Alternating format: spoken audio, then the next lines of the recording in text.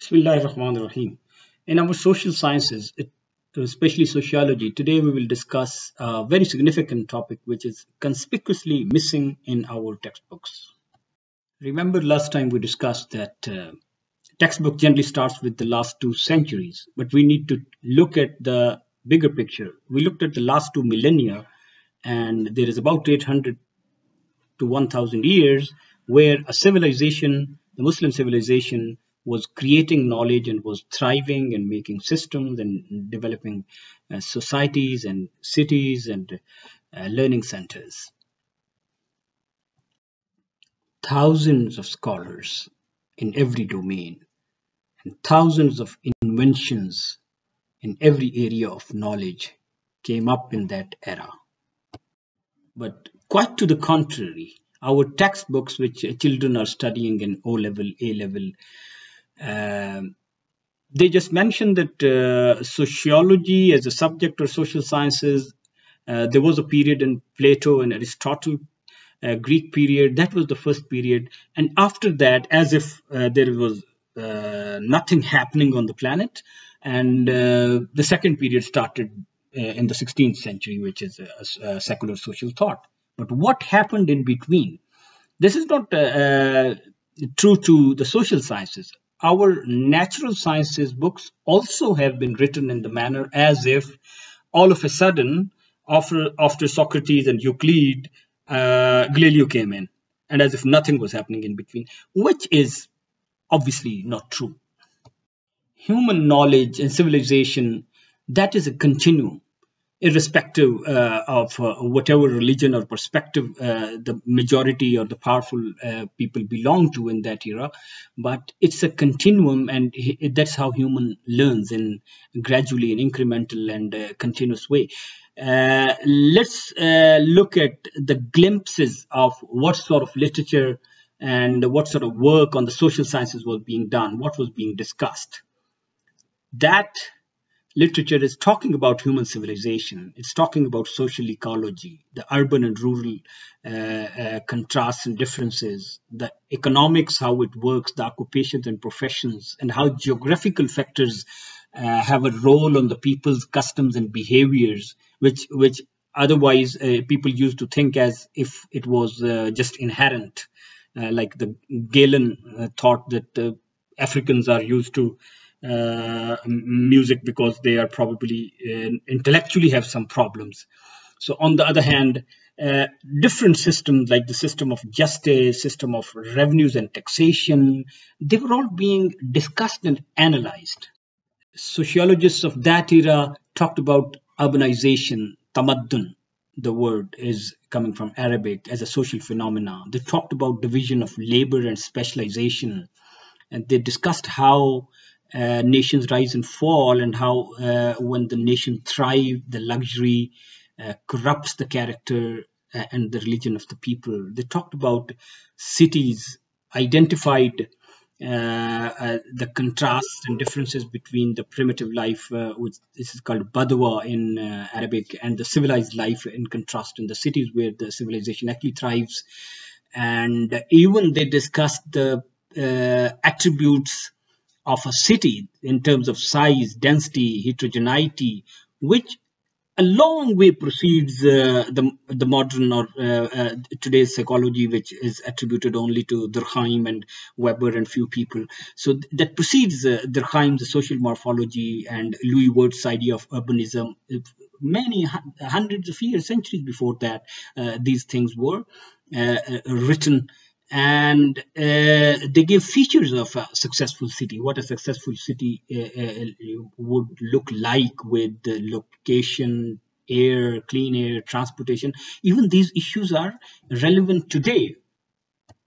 The other dimension that literature talks about is education the knowledge how learning was taking place how it uh, what's the process how society learns? Music as a form of expression. Religion was acknowledged as one of the significant uh, uh, regulatory agency or in today's term uh, the uh, social control etc an instrument for that. Scientific instructions became firmly rooted in the cities. Colleges appeared in cities like Cairo was city of colleges. Illiteracy disappeared from, at least in the Arab uh, uh, countries. Endowments, charities were in such a magnitude that people, uh, students and teachers were able to travel. Science of alchemy and medicine grew. So all these are deep social changes and cultural changes and a civilization uh, developing itself and they went deep into uh, finding out the mechanisms, uh, what gives the sense of belonging to the people when they rise above the uh, streets and tribes and villages and go into the cities and make large armies and systems and uh, uh, structures of um, uh, social organizations. So asabiya is the word they used, and this asabiya is a very powerful word.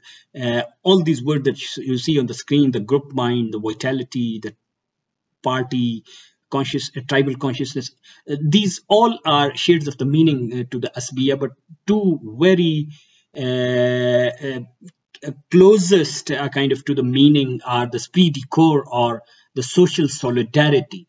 And then that literature describes how this social solidarity builds up or how uh, what are the factors which actually weaken it uh, with the passage of time uh, as the nation's pendulum goes uh, up and down.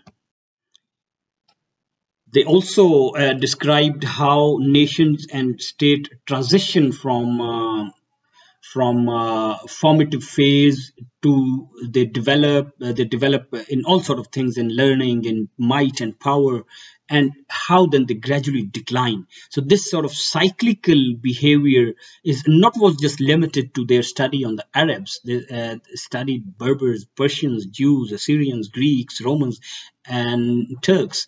Uh, this has also been done by our uh, last two centuries uh, uh, and psychologists spengler for example the german historian in his uh, the decline of the west or Toynbee in the study of history or uh, Gumplowicz, the, famous uh, Polish sociologist in the outline of sociology, they have done it. But these things have been identified centuries ago. And uh, this cyclical nature of the things, but it's extremely deep, uh, the social and economic and um, uh, urban and all those phenomena in the society which are happening and creating uh, this rise and fall were analyzed in the in the historical and the social context, which is very significant part of the sociology missing in the textbooks. It goes deep to discuss how this sort of social changes uh, are happening, what were the causes of decline, what weakens that uh, asabiya, the social bonds, and what sort of social dialectic uh, is taking place in the society. And uh, it, they acknowledge that social injustice, whenever it appears, it does not persist. Uh, many of uh, earlier people uh, had not conceived this idea. This was the first time this was coming as a scientific uh, thought. And a very towering personality in all that was Ibn Khaldun. He was an ambassador, a minister, an author, a traveler, a civil servant, a teacher, and a historian. Obviously, he is acknowledged as the, uh, the father of analytical history and he is the one who developed with all his empirical observational and historical methods and compared the periods and compared against other scholars and extended and refined uh, the knowledge that existed and gave society as a subject matter of a new independent science he named it ilmul umran al-bashari al-bashar means human the science of human civilizations which is extremely significant. Is such a towering person. Uh, he has preceded everybody in, in, in this uh, subject uh, uh as a figure uh, of knowledge and um, uh, awareness to humanity. And there is no wonder that despite whatever the uh, Western or Orientalists think about it, they can't hide acknowledging it Look at the Gumplowicz, one of the founder of European sociology, Sorokin, the American Russian sociologist known for the social cycle theory, and many others. they acknowledge Ibn Khaldun as the founding father of sociology. The very fact which we said conspicuously our textbooks are missing out just to create a defeatist mentality in our children. Now look at the other side. Just few examples to quote. The Short History of Sociology by Maus. It does not refer to any non-European in its chapter on antecedents of sociology. Right?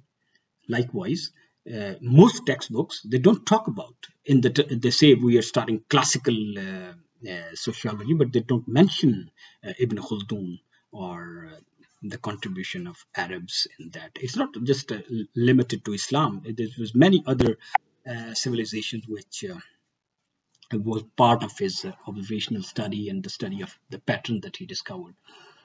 Uh, the American Sociological Association, uh, they uh, published a resource book for teaching sociological theory. Simply take it outside, no non-European thinker included, and even no woman thinker.